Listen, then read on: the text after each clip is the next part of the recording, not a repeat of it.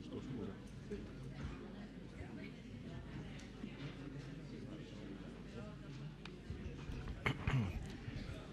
Eh, un lunedì eh, alle 8.30 a cercare di capire eh, il motivo per il quale eh, sfortunatamente Dio, o chi sia per lui, se non credete in Dio, non ci ha creato immortali. E, e il tema di stasera si, ehm, di lo cercherò di sviluppare in, in due parti. Il, il primo eh, è una parte sul quale sono un po' meno familiare perché eh, è, è,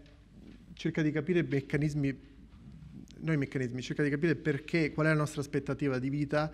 eh, in confronto ad altre specie eh, viventi esistenti nel nostro pianeta. E invece la seconda parte entreremo nei meccanismi eh, genetici e biologici, soprattutto riguardanti la senescenza. Nella terza e ultima parte, che penso che sarà la più interessante per molti di voi, eh, cercheremo invece di capire se esistono delle nuove terapie che sono in grado o di prevenire o di addirittura revertire eh, il processo di invecchiamento eh, cellulare.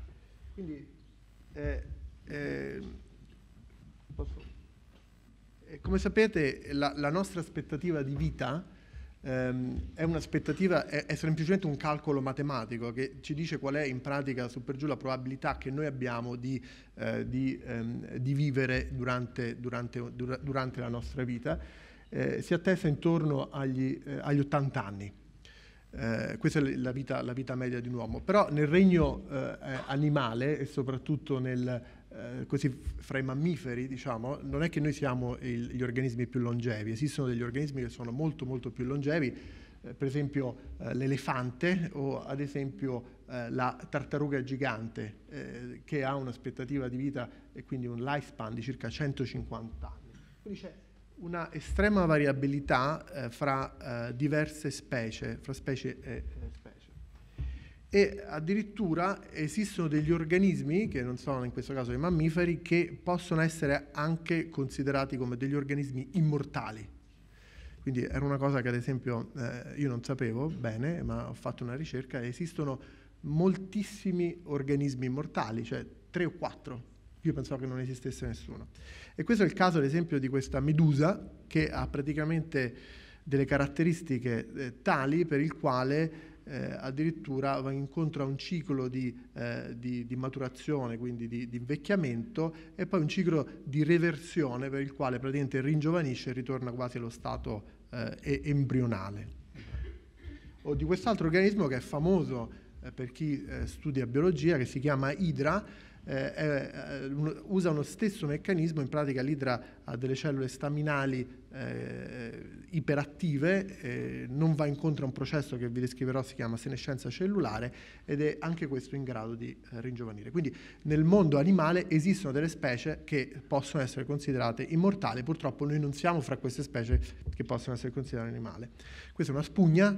non sapevo, eh, l'ho imparato alcuni anni fa facendo un progetto di ricerca eh, che cercava di estrarre dalle spugne eh, dei farmaci eh, contro il cancro, quindi parlando con i biologi marini, che addirittura esistono delle spugne che hanno una vita non immortale, ma è quasi di 1500-1600 anni. E il motivo è perché, poi vi dirò, hanno degli enzimi che si chiamano telomerasi che sono in grado di mantenere queste cellule eh, quasi immortali. O dicevo appunto altre specie come ad esempio la balena che, dura, che ha un'aspettativa di vita media fino a 200 anni, addirittura dei, dei molluschi e via, e via dicendo. Avanti, ancora avanti. Esistono anche all'opposto delle specie animali che hanno invece una eh, longevità eh, brevissima. E questo è il caso per esempio di questo pesce che si chiama killifish turchese, che ora ehm, viene utilizzato da numerosi biologi perché ha una vita eh, in pratica di circa 3 o 4 mesi,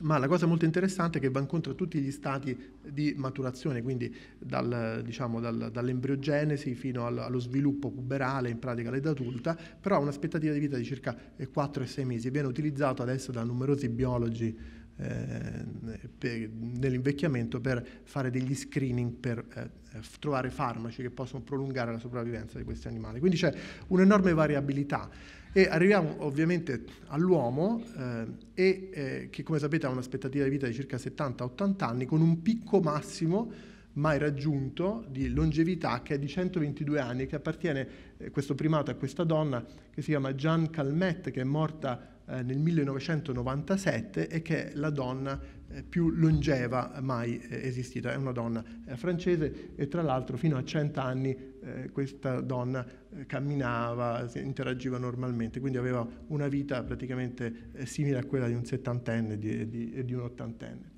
Ora, la cosa interessante è che recentemente è stato pubblicato un articolo su, sulla prestigiosa rivista Nature, proprio alcuni mesi fa, che eh, attraverso un calcolo matematico ha stimato che eh, il, ehm, il, calcolo matematico è molto complesso, non riesco tanto bene a decifrarlo, ma in pratica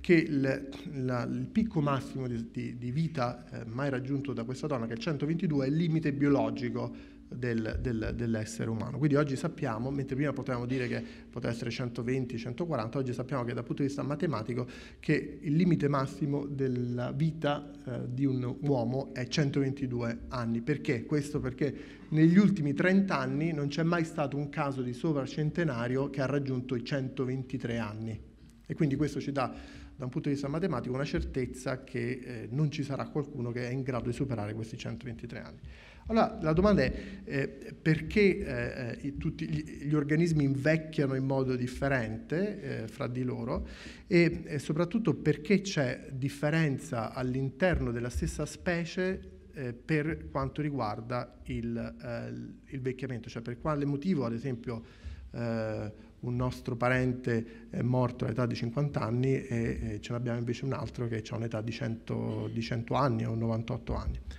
Allora, esistono eh, prevalentemente due tipi di, eh, di, eh, di fattori eh, che sono eh, importanti, che bisogna, bisogna, discutere, sono ovviamente fattori ambientali e una predisposizione genetica. Quindi sapete ad esempio che, se può andare avanti, che fino cioè, all'inizio del 1920 l'aspettativa media sia dell'uomo che delle donne era di circa 50 ehm, anni e progressivamente nel, nel, tempo, quindi negli ultimi eh, 60-70 anni, siamo riusciti ad aumentare questa aspettativa di vita finché oggi siamo arrivati quindi a una media intorno a 80-90 anni, con un numero di, di eh, centenari che supera addirittura eh, le aspettative rispetto a quanto si poteva pensare da un, vista, da un, punto di vista, matematico. E quindi perché questo? Perché esistono dei fattori ambientali che sono migliorati durante questi anni, lo sappiamo tutti, questo è grazie al contributo della scienza e della medicina e quindi di quanti nella nostra società hanno scelto di fare i ricercatori, eh, gli scienziati o i medici, come vedo alcuni qua, e che hanno per esempio ottimizzato terapie eh, antibiotiche negli anni, eh, magari Giorgio si ricorda, negli anni 70 erano pochi il numero di antibiotici, anche, anche prima.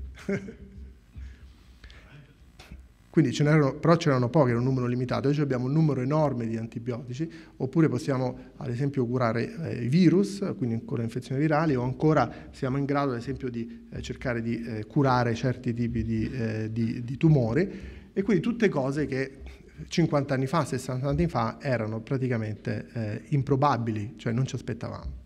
E allo stesso tempo, no, se, se, se, torni indietro, eh, è, è, molto importante ricordare che anche le nostre condizioni economiche sono migliorate, soprattutto nel mondo occidentale. Eh, in Svizzera è sempre stato un paese abbastanza ricco, ma eh, si ricorderà qualcuno che il Ticino, ad esempio, delle, nel, all'inizio del secolo aveva delle condizioni di vita differenti rispetto al nord del, della, della, Svizzera e quindi c'è stato un progressivo miglioramento delle situazioni economiche, del, della, dell'alimentazione, quindi ora prestiamo molto più attenzione all'alimentazione e, e, e, via dicendo. Quindi questo sicuramente contribuisce all'allungamento del, della, nostra, della nostra vita. E poi ovviamente esistono dei fattori genetici. Ora,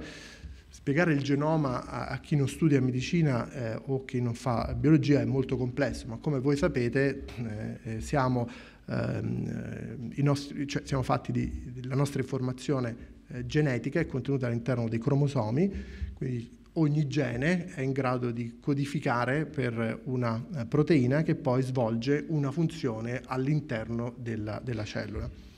E oggi sappiamo da studi eh, effettuati sia a livello eh, animale, quindi cosiddetto a livello preclinico, sia a livello di genetica di popolazione, che la componente genetica è fondamentale per eh, stabilire se un individuo eh, sarà longevo o no. Quindi esistono addirittura oggi dei, dei, dei, dei software in base al, al sequenziamento del DNA che possono dirvi quale sarà su per giù la vostra aspettativa, aspettativa, di vita. Ovviamente questo però può essere modificato dall'ambiente, quindi può essere che qualcuno di noi abbia dei geni molto longevi, ma che faccia una vita smoderata perché beva troppo tutte le sere eh, o, o abbia un'alimentazione completamente sballata e quindi avere un buon patrimonio genetico non vuol dire per forza di cose che eh, questa persona riuscirà in pratica a eh, sopravvivere per più di 80 anni.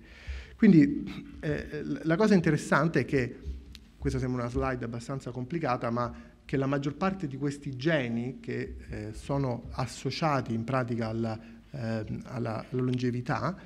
eh, di un individuo fanno parte di, categori- di alcune categorie, quindi non vi spaventate dalla diapositiva, sono ad esempio dei geni che sono in grado di regolare dei segnali intracellulari. In pratica una cellula è caratterizzata da un ambiente esterno, quindi eh, dove c'è un medium di cultura, una membrana cellulare con dei recettori e, e, questi recettori una volta attivati scatenano una cascata di segnali. Ecco, la maggior parte di questi geni coinvolti nell'invecchiamento sono geni che proprio regolano ad esempio la proliferazione della cellula o addirittura regolano il metabolismo della cellula. Sapete che la cellula, così come il nostro corpo, ha un metabolismo e ad esempio geni coinvolti nel metabolismo sono responsabili del fatto che noi possiamo avere un'aspettativa di vita migliore rispetto all'altro. Allora voi vi chiederete, ma perché questi, abbiamo delle mutazioni che altri non hanno? No, non sono delle mutazioni, ma sono delle cosiddette varianti genetiche, in pratica dei piccoli cambi di informazione genetica senza che alterino la struttura del gene, sono responsabili ad esempio che un gene nel mio caso funzioni meglio rispetto a un altro caso in entrambi il gene funziona e, e, fa una funzione, ma nel mio caso funziona meglio, ad esempio eh, soffre quindi eh, meno di uno stress ossidativo, cioè dà alla cellula la capacità di, eh, di eh, poter sopravvivere dopo un determinato insulto che viene dal, dal, eh, dall'esterno. E ehm, questo ci porta un attimo a, a comprendere anche un, un aspetto molto, molto, molto importante, cioè eh, esiste una, una, una, componente genetica e una componente eh, eh, ambientale che influenzano la nostra eh, sopravvivenza. Però esiste anche un processo biologico che noi adesso abbiamo cominciato a capire e a comprendere, cioè tutte queste eh, informazioni, queste genetiche, fanno sì che eh, a un certo punto, ehm, eh, quando noi invecchiamo, le cellule del nostro organismo diventano senescenti. Che cos'è la senescenza? Questo è un settore che noi stiamo ampiamente studiando nella cura dei tumori, ma in pratica a un certo punto, quando le cellule si dividono, non riescono più eh, a dividersi in maniera adeguata e dopo un certo numero di eh, divisioni cellulari queste cellule si bloccano e quando si bloccano si bloccano irreversibilmente, cioè non sono in grado di rientrare nel ciclo cellulare neanche dopo degli stimoli esterni molto attivi o delle mutazioni praticamente genetiche. E questo è il tipico aspetto di una cellula che è praticamente invecchiata all'interno di un nostro tessuto. E quindi ehm, se... Eh, aspetta, eh, posso andare avanti così? Quindi, quindi eh, ha un nucleo molto, molto grande, molto ampio, un citoplasma è molto più piatta rispetto a una cellula che, che prolifera e soprattutto è una uh, cellula che ha un'attività lisosomiale molto più elevata. Non, non, adesso spiegare l'isosomi cosa sono non è importante, ma quello che, eh, che, che, è importante ricordare è che se gli si dà un colorante che eh, detetta questa, questa attività lisosomiale, queste cellule praticamente diventano blu, si colorano di blu. Tant'è vero che oggi, grazie a questa proprietà di queste cellule invecchiate, noi siamo in grado, ad esempio, all'interno di un tessuto, ehm, ad esempio cutaneo, di eh, vedere quante cellule invecchiate eh, si accumulano all'interno del tessuto stesso. Quindi ora siamo in grado di, ad esempio, fare la, la diagnosi, quindi sappiamo quello che, che succede. E perché eh, esiste questo uh, processo di eh, senescenza. E eh, cerco di spiegare in modo semplice il meccanismo biologico. Come dicevo, esistono i cromosomi, in ogni cromosoma sono c'è il DNA e ci sono vari geni, però esistono anche delle estremità proteiche che incapsulano il, il, il cromosoma e queste estremità proteiche si chiamano telomeri. E che fanno questi telomeri? Non fanno altro che proteggere il DNA dall'ambiente circostante, che è l'ambiente nucleare, che non è un ambiente eh, facile nel quale sopravvivere perché esistono ad esempio radicali liberi dell'ossigeno che possono penetrare dalla membrana verso il nucleo e via dicendo. Quindi con ogni replicazione e con ogni divisione cellulare in pratica questi telomeri si accorciano progressivamente e questo è dovuto proprio a un fatto meccanico di, di attrito ed accorciandosi progressivamente il DNA delle cellule viene esposto all'ambiente nucleare esterno e si accumula un danno progressivo a livello del DNA. Quindi con ogni replicazione cellula- cellulare c'è un progressivo danno al DNA che è responsabile poi del fatto che eh, la cellula improvvisamente dopo 60 divisioni cellulari eh, si blocca. E non so se l'abbiamo messa qua, ma eh, il, eh, limite di 60 replicazioni cellulari è stato dettato nel 1960 da uno studioso che si chiama Afflick che eh, facendo dei semplici esperimenti in vitro, eh, prendendo delle cellule che derivavano, fibroblasti che derivavano dal, dal polmone o, da, da, o da, un, da, part, da, un, fascio muscolare, e coltivandolo in vitro si è chiesto semplicemente quanto posso continuare a coltivare questa cellula. E ripetendo questi esperimenti si accorse che il massimo eh, per il quale questa cellula poteva essere divisa in vitro era di circa 60 eh, replicazioni, cioè 60 divisioni. Dopo di questo limite in pratica non era, possibile, non era possibile andare. Si poteva accorciare questo limite cambiando le condizioni nel quale si coltivavano queste cellule, ma non si potevano praticamente eh, prolungare queste condizioni. Quindi questo fenomeno è noto ora come senescenza. Però esiste un altro tipo di senescenza, perché altrimenti eh, se questo fosse l'unico tipo di meccanismo,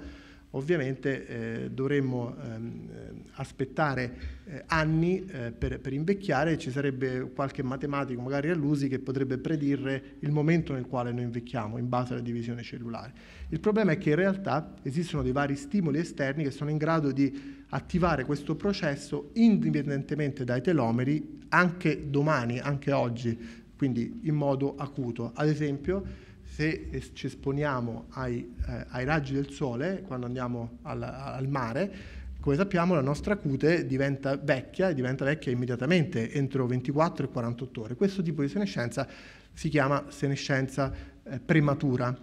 quindi avviene non con il passare del tempo, ma avviene improvvisamente. Quindi esistono diverse condizioni, ad esempio eh, danno al DNA che deriva dalle esposizioni alle radiazioni ultraviolette o ad esempio shock metabolici eh, evidenzia, è stato evidenziato che ad esempio se si coltivano le cellule eh, in una dieta ricca di grassi, queste vanno incontro più facilmente alla, alla senescenza. Tant'è vero che è noto che persone obese si invecchiano più rapidamente rispetto a persone, a persone magre e viceversa che la caloric starvation, che vuol dire una riduzione del, del, delle calorie eh, che mangiamo tutti i giorni, è in grado di prolungare eh, questo, questo, limite che, eh, o di ridurre diciamo, questo limite per, per, il quale noi, eh, le nostre cellule praticamente eh, eh, invecchiano. Ora, la cosa che è emersa negli ultimi, eh, negli ultimi anni è che queste cellule che sono diventate vecchie all'interno dei nostri tessuti, quindi le chiamiamo senescenti, che ora siamo in grado di diagnosticare con questi coloranti in pratica, purtroppo si bloccano ma rimangono attive, quindi normalmente e vive, cioè, e normalmente eh, anche quando ci siamo conosciuti ehm, c'è questo, uh, questo, concetto che le cellule muoiono, no, non muoiono neanche per niente, purtroppo rimangono bloccate eh, irreversibilmente nei tessuti e cominciano praticamente a accumularsi con un effetto che è noto come effetto ping pong. Perché questo? Perché queste cellule senescenti sono molto attive dal punto di vista metabolico, anzi sono quasi più attive rispetto alla cellula proliferante, quasi in alcuni rispetti, e producono dei fattori che sono fattori proinfiammatori, esistono numerosi fattori come le citochine, le interleuchine e via dicendo, che sono in grado di far sì che da questa cellula questi fattori vengano rilasciati eh, vicino a una cellula che invece non è invecchiata e questa cellula invecchiata eh, che magari già ha fatto un certo numero di replicazioni viene spinta ancora più rapidamente in senescenza e quindi queste cellule si accumulano progressivamente eh, nel tempo perché queste cellule comunicano con l'ambiente circostante tramite questo fenotipo che si chiama SASP, o, quindi segrezione di fattori che inducono uh, l'invecchiamento. Ora, come siamo in grado oggi di dire che questo è il processo biologico alla base dell'invecchiamento? Perché se parlate con degli esperti di invecchiamento diranno no, ma l'invecchiamento è una sindrome eh, multiorgano caratterizzata da vari segni e sintomi. Come facciamo a dire che questo processo biologico è la caratteristica base del, dell'invecchiamento. In realtà eh, c'è, c'è, è uscito un lavoro alcuni anni fa, recentemente, 4-5 anni fa, eh, un lavoro fatto eh, sul, su animali transgenici modificati nel quale eh, che purtroppo eh, ci aiutano nella, nei progressi, negli avanzamenti scientifici, anche se mh, devono essere poi sacrificati per gli esperimenti, che dimostrano che in animali anziani o eh, che soffrivano di questa sindrome si chiama progeria sindrome, quindi una sindrome nel quale, come sapete, non so se avete mai visto queste foto di questi bambini che a sei anni sono già eh, invecchiati, no? Quindi questi erano animali che soffrivano di queste cellule avevano moltissime cellule senescenti. Se si ingegnerizzava l'animale in modo tale che queste cellule senescenti venivano uccise per azione, per l'attivazione di un gene, quindi una metodica molto complessa, l'animale, quindi queste cellule sparivano e l'animale era in grado di ringiovanire. Questa è stata una grande sorpresa perché mentre esperimenti precedenti dimostravano che era possibile prolungare no, la, la vita dell'animale, non era mai, si era mai osservato che l'animale potesse ringiovanire, cioè, eh, vedremo, poi vi faccio vedere successivamente che esistono degli esperimenti per i quali addirittura le funzioni cognitive cerebrali dell'animale migliorano, le funzioni muscolari eh, dell'animale migliorano e via eh, dicendo. Come avviene questo? Perché questo è possibile? Allora sapete che eh, un altro eh, avanzamento recente nel, nello studio del, del, mm, eh, della scienza umana è stata la scoperta delle cosiddette cellule staminali, no? quindi tutti i nostri tessuti sono composti da cellule con caratteristiche staminali, cioè con cellule che sono in grado di eh, farsi, cioè di dividersi e di dare origine a cellule figlie che poi sono in grado di ehm, di ehm, eh, per esempio riepitelizzare la cute umana o, o, via dicendo. Quindi ad esempio anche nell'intestino, no? sapete che l'intestino è un organo che prolifera molto, c'è un numero molto elevato di cellule staminali che sono in grado di dare vita della progenie. Quindi tutti gli organi che si rinnovano rapidamente come la cute e l'intestino hanno moltissime cellule eh, staminali. E, eh, alcune di queste cellule staminali eh, muoiono, ma altre cellule staminali e questo si è visto da questi esperimenti, vanno incontro a un processo di vecchiaia. Quindi, sebbene le cellule staminali fino a alcuni anni fa venivano considerate cellule immortali, ora esistono delle evidenze per il quale, generate da quell'esperimento sull'animale che vi ho fatto vedere, per il quale le cellule senescenti, producendo dei fattori, in pratica, eh, all'interno del tessuto, sono in grado di bloccare la funzione di queste cellule staminali, così che quando le rimuoviamo, le cellule senescenti, questo effetto negativo sulle cellule staminali viene meno e le cellule staminali si riattivano e cominciano praticamente a eh, rifunzionare a livello, a livello eh, eh, tessutale. Quindi da qui, da quell'esperimento, si è dimostrato che in pratica la rimozione di queste cellule eh, fa sì che eh, ehm, ci siano dei miglioramenti a livello eh, tessutali molto importanti. Quindi quello che si è visto, ovviamente non solamente nel modello animale, ma anche nel modello umano, cioè in, che eh, queste cellule senescenti si accumulano eh, progressivamente e che sono in grado quindi, come dicevo qui, addirittura di indurre uno, st- uno stato di senescenza in queste cellule eh, staminali, ma la rimozione di queste cellule senescenti è in grado di riattivare la funzione della eh, staminale stessa. Um, questa è una diapositiva che non ha nessuno e sono molto felice di averla, nel senso che ve la faccio vedere a voi, eh, l'ho presa perché eh, studiando il cancro e il ruolo della senescenza nel cancro, eh, abbiamo, fondaz- abbiamo, creato una fondazione scientifica eh, che, eh, basata prevalentemente sullo studio della senescenza, che ha sede eh, in Europa e, negli Stati Uniti fra poco, nel quale, esiste, nel quale ci confortiamo con diversi tipi di, di, di, scienziati, non solamente chi è esperto nel settore del cancro, ma anche nel settore per esempio eh, cardiaco, neuroscientifico e via dicendo. E quindi oggi sappiamo, ad esempio, queste sono, eh, bio, eh, patolo- sono del, dell'anatomia umana, che ad esempio eh, queste cellule che si accumulano, si accumulano in tutti i tessuti, quindi nuovamente questa colorazione blu è presente addirittura a livello del, ehm, del cerebrale. No? Sapete che il Parkinson o l'Alzheimer era dovuto prevalentemente a una degenerazione. Ora vediamo molte cellule blu all'interno del, del, del cervello, quindi pensiamo che rimuoverle potrebbe addirittura avere una funzione nel, nel, non, non, io perché non me ne occupo io, ma nel, nella prevenzione o nella, addirittura nella cura dell'Alzheimer. Anche questa è una placca aterosclerotica, sapete che quando eh, purtroppo mangiamo male e abbiamo molto colesterolo, siamo geneticamente portati a accumulare, come io, colesterolo nel sangue,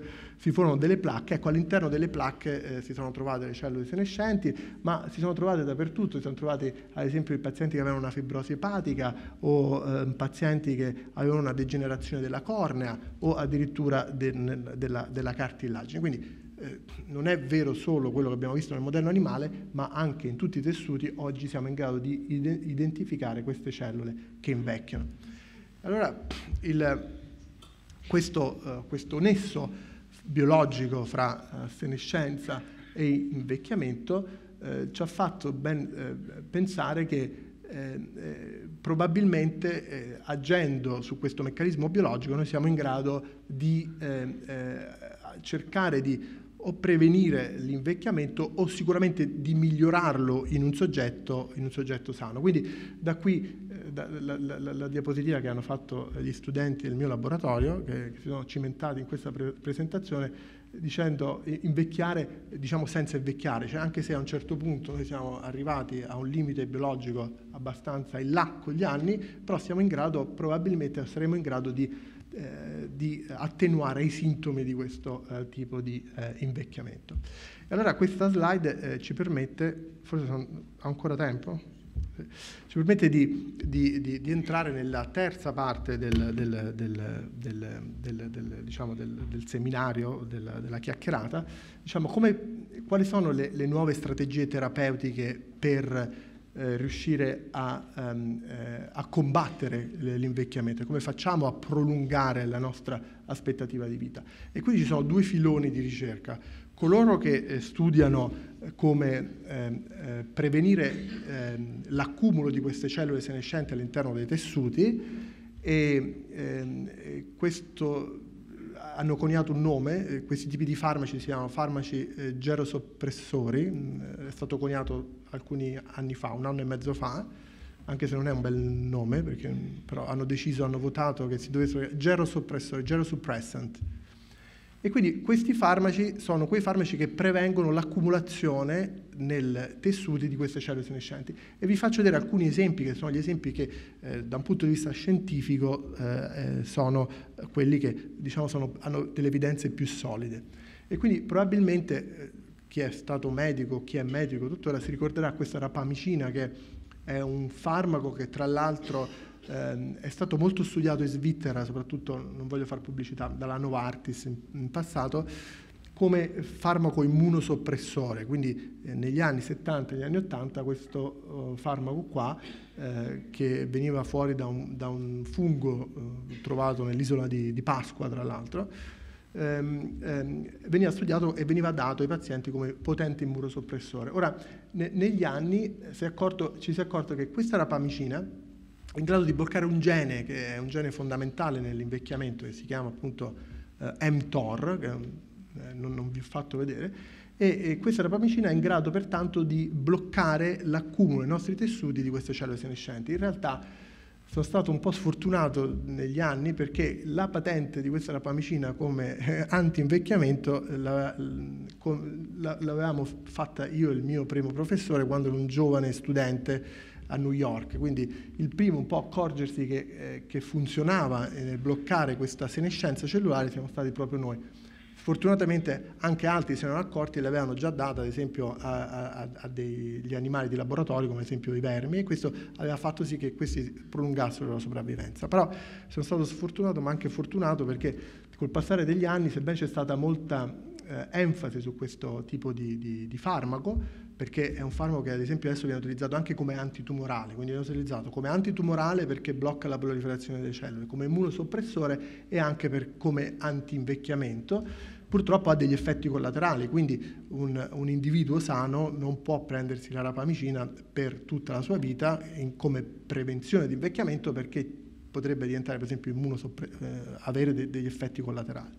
Quindi, eh, però per, per, capirsi è molto importante perché questo farmaco che blocca questo, gene ha fatto sì che ad esempio eh, sono stati trattati diversi eh, ehm, ehm, modelli, modelli, animali e si vede proprio che eh, esiste la possibilità di un prolungamento eh, di circa due o tre mesi nel, nella vita media del, dell'animale che coinciderebbe con addirittura un, un prolungamento di anni nel, nel, nella vita dell'uomo ed è anche un farmaco interessante per far passare un altro messaggio perché in realtà è uno dei pochi farmaci che è stato testato non solamente nel modello animale murino ma anche ad esempio nel, nel babuino che è molto più vicino, al, cioè nella scimmia che è molto più vicino ovviamente all'uomo quindi quando eh, vi dicono che ad esempio esistono dei farmaci in grado di bloccare l'invecchiamento,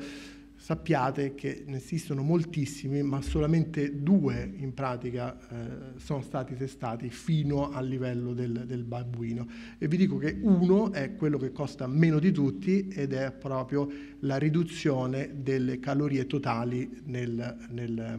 nel, nell'alimentazione. Quindi l'unico trattamento testato eh, con successo fino al livello fino alla scimmia e ovviamente anche nell'uomo è questo, cioè se si riduce il, il quantitativo di calorie eh, c'è un prolungamento della, della, della vita eh, in diversi modelli animali, incluso il, quello più vicino a noi per quanto riguarda la specie. Ora questo però non è bastato perché si potessero effettuare dei trial clinici sui pazienti negli anni perché questo farmaco aveva anche degli effetti collaterali, ma le, ci sono molti scienziati che cercano degli analoghi che funzionino un po' meglio, quindi non è detto che nel futuro potremo trovare eh, un farmaco che, che, sarà un TOR inibitore che è in grado di essere testato anche in clinica. Poi conoscerete sicuramente il resveratrolo perché ormai tutti parlano del resveratrolo che è eh, una molecola che è contenuta eh, nel, nel, nel, nell'uva e eh, ormai esistono numerose ditte sia cosmetiche che eh, di, ehm, di eh, produttori di antiossidanti che vendono queste pasticche all'interno del resveratrolo. Ecco, state attenti perché eh, per sintetizzare un milligrammo di resveratrolo bisognerebbe bere mille litri di vino, quindi in pratica, in pratica ehm, ehm, il resveratrolo è proprio una di, di, di quelle... Eh, sì, sì, esiste, però sì, un po', lascia un po' il tempo che trova, nel senso che bisognerebbe concentrare per avere un, un quantitativo adeguato ehm, un, um, un, Ora esistono degli analoghi adesso al resveratrolo, però ecco, gli esperimenti che hanno portato... La resveratrolo funziona come un antiossidante che è in grado di modulare un gene che si chiama SIRT, che è coinvolto nell'invecchiamento. Eh, mi ricordo ad esempio che chi l'ha scoperto lavorava nel laboratorio vicino al nostro, ad Harvard, eh, e ha fatto tantissimi soldi vendendo questa patente eh, a, a, ad, altri, ad, altri, ma poi diciamo, lo, ehm, il mese dopo tutte le società, eh, tutte le industrie farmaceutiche avevano un resveratrolo loro a basse concentrazioni. Quindi, e, ecco, bisogna, e, e, questo resveratrolo non è, and- non è riuscito a prolungare la sopravvivenza del babbuino, per esempio della scimmia. Quindi, eh, la caloric starvation, cioè la, la, riduzione delle calorie, è sicuramente più efficace del resveratrolo. Ora spero di non fare una pubblicità negativa col, col resveratrolo, però ecco, state attenti quando esistono delle sostanze che, che fanno delle... Però questo è un esperimento eh, in, in, animali che eh, eh, fa vedere a livello preclinico che il resveratrolo eh, ha, ha, una funzione molto molto efficace nel prolungamento della sopravvivenza e del lifespan degli, degli animali. Poi abbiamo recentemente, eh, eh, durante una puntata del Giardino di Albert, io anzi non sapevo che eh, il melograno eh, contiene questa sostanza che si chiama urolitina A, che è in grado anche questa di prevenire eh, l'accumulo di queste cellule senescenti a livello del tessuto. Ora, questa è stata provata a livello preclinico, non ancora neanche sul, sull'animale, però ecco, ci, queste evidenze su cellule e su altri modelli animali, come ad esempio alcuni tipi di vermi o drosofila, ci fa ben sperare che forse nel futuro eh, può funzionare anche come, eh, eh, ad esempio sull'animale, poi sul babbuino e via dicendo anche sul, sul, sull'uomo. Poi esistiamo pure noi in Ticino perché come ehm, alcuni anni fa tornato dagli Stati Uniti, anzi ancora negli Stati Uniti, eh, eh, cominciai, cominciai a, a, a, cercare dei, dei, dei, farmaci, come sapete, eh, che eh, sono in grado di invecchiare le cellule tumorali, perché noi cerchiamo di studiare l'opposto del mecca- meccanismo di invecchiamento mh, all'interno dei tumori, che, che, è un capitolo che magari tratteremo un'altra, un'altra volta, oppure se abbiamo 5 minuti eh, successivamente. E quindi noi abbiamo cominciato a fare degli screening utilizzando delle spugne, dei composti chimici o delle, delle, sostanze, delle sostanze naturali e per esempio abbiamo pubblicato questa quest'anno che è un particolare tipo di salvia eh, che eh, è in grado di, eh, ad esempio, bloccare eh, l'accumulo di queste cellule, però c'è ancora molto tempo finché questa sostanza venga provata poi sul modello animale, poi sul babbuino e poi magari amministrata anche nel, nel, nell'uomo. Quindi esistono una varietà di studi e di eh, scienziati che cercano l'esir di lunga vita prevenendo la, eh, l'accumulo di queste cellule senescenti a livello dei nostri eh, tessuti, che è una strategia molto utile e che è anche semplice da sviluppare, la maggior parte di queste sostanze sono vegetali, se uno si prende un po' di melograno o un po' di salvia non cadrà il mondo, no? però eh, bisogna vedere se effettivamente funzionano, quindi ci vogliono delle basi scientifiche.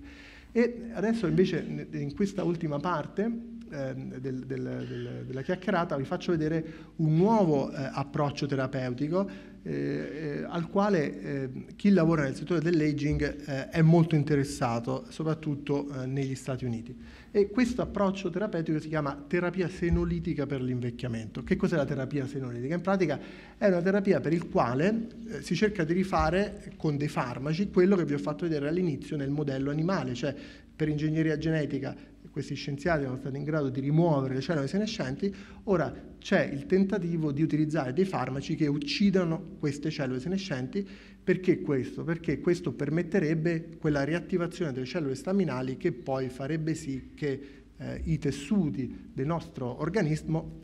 possano, funzionare, funzionare meglio. E allora, ehm, e, e ora siamo agli arbori di questo tipo di, di, di, di, ricerca, però considerate che già gli americani, sia Google che ha fatto un fondo di investimento e un'altra piccola eh, società che adesso è diventata grande hanno investito 150 milioni di dollari su questo tipo di approccio. Perché? Non perché siano dei, ehm, delle persone che cercano di aiutare l'umanità, ma perché eh, questo tipo di approccio da un punto di vista legislativo è un po' rivoluzionario. Adesso vi cerco di spiegare perché. Mentre prima per testare un farmaco o un composto naturale che eh, poteva prevenire l'invecchiamento, si doveva prendere una popolazione all'età di 50 anni e seguirla per 40, 30 anni. Questo era molto, molto dispendioso. Con questo nuovo tipo di terapie, se funzionano come stanno funzionando sull'animale, non sappiamo se funzioneranno sull'uomo, verranno arruolati dei settantenni o degli ottantenni, gli verrà dato un farmaco che funziona come uccide queste cellule senescenti e dopo otto mesi si vedranno praticamente i risultati. Quindi c'è un grosso quantità di, eh, di, di investimento nel, in questo tipo di settore, soprattutto una ricerca molto molto attiva nel cercare di identificare questi farmaci e questo è uno dei primi farmaci eh, cosiddetti senolitici. Noi eh, purtroppo eh, non ci occupiamo di questo settore ancora, abbiamo appena cominciato eh, questi tipi di screening cosiddetti senolitici, ma eh, gli americani sono più avanti e ad esempio questo farmaco qui che è un farmaco è in grado di rimuovere le cellule senescenti in alcuni eh, tipi di, eh, di, di modelli, nuovamente sempre modelli animali, perché? Perché è in grado di bloccare questo gene che si chiama BCL2 che è coinvolto nel meccanismo di morte cellulare. In pratica come funzionano questi farmaci? Siccome una cellula senescente appregola, quindi una cellula invecchiata appregola questo BCL2 più che una cellula normale, se noi blocchiamo BCL2, in pratica con dei farmaci, noi siamo in grado di uccidere selettivamente le cellule senescenti, ma non le cellule che non sono senescenti. Quindi sono delle terapie cosiddette target all'invecchiamento, che è qualcosa di sorprendente, perché fino a alcuni tempi fa eh, questi tipi di terapie venivano utilizzati, ad esempio nel cancro, nell'artrite reumatoide. Ora ci cerca di spostare addirittura all'invecchiamento questo utilizzo di eh, composti. Quindi, eh, esistono anche altri approcci che sono molto eh, interessanti e che eh, magari era interessante discutere con voi. Ehm, e, e, ehm, esistono degli approcci cosiddetti di parabiosi, non so se conoscete questo filone della, della biologia, intorno al 1950 eh, esistevano dei, degli scienziati che avevano fuso due, il sistema circolatorio di due animali, quindi questo veniva chiamato parabiosi. Poi per anni ci si era scordato di questi tipi di esperimenti finché questa ragazza che si chiama Amy eh, Wagers ehm, ha ripreso questo esperimento di parabiosi per perché gli serviva per, per, un suo tipo di ricerca e ha notato che se eh, fondeva il sistema circolatorio di un animale giovane con un animale anziano, il sangue dell'animale giovane eh, ehm, in pratica era in grado di ringiovanire o di migliorare eh, la, eh, le condizioni fisiologiche dell'animale anziano suggerendo che il vampirismo, sapete che ha delle basi biologiche, quindi come voi sapete eh, ho chiesto anche di fare una ricerca a chi lavorava per me eh, e apparentemente eh, i vampiri, ehm, cioè si sa che le tradizioni popolari hanno sempre qualcosa di biologico, no? però insomma, pare che ehm, il motivo per il quale i vampiri rimangono giovani quando eh, eh, succhiano il sangue è perché da una, da una, persona giovane, non da una persona anziana, aveva un fondamento di tipo, ehm, cioè, ha un fondamento eh, che eh, in, eh, insomma, do, dovuto al, al, al, fatto che eh, era una sottomissione per chi perdeva delle battaglie e, e, c'erano dei benefici che venivano visti in chi faceva questo tipo di pratica. Ora non mi ricordo il, Esattamente. Comunque, la cosa interessante è che è stato identificato, ad esempio, dei fattori, quindi esiste adesso un nuovo filone di scienza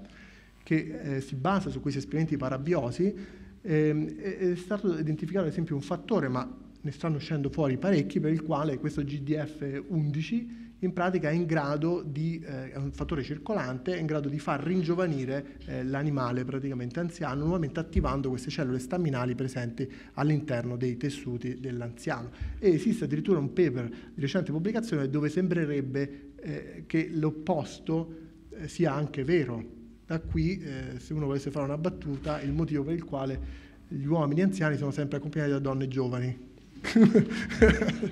O cercano almeno, non è vero o cercherebbero idealmente di essere accoppiate da donne giovani. Ora, eh, il, eh, quindi sembrerebbe che esistano dei fattori circolanti e presenti che possono essere ehm, ehm, in pratica eh, la ragione di questo. Ehm, ora, ehm,